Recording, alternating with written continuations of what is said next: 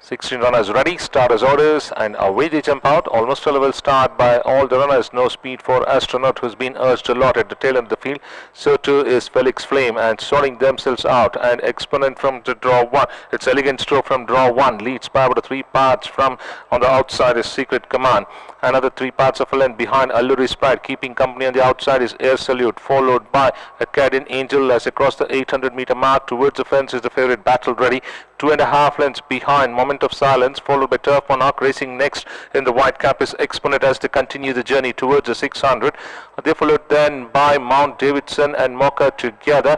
On the outside there is Proud Legacy. Deeper out Astronaut on the improve. Felix Flame comes in next Mystery River and NRI Flame and Mount Davidson is last as they enter the straight. More than two furlongs to run. Secret Command assumes command. About three parts of a length in front of Air Salute. Hard at work to bridge the gap. It is battle ready. On the outside there is Acadian Angel towards the fence. Alluri Sprite ridden hard. They followed then by Moment of Silence. Inside the last furlong now. Air Salute takes the charge and storms into the lead with inching closer on the outside is Battle Ready now there wide apart stride for stride they go. Air Salute from Battle Ready Air Salute. Air Salute Battle Ready uh, bobbing off the heads and it's Battle Ready stretches out by a neck to beat off. Air Salute. They followed then by Exponent.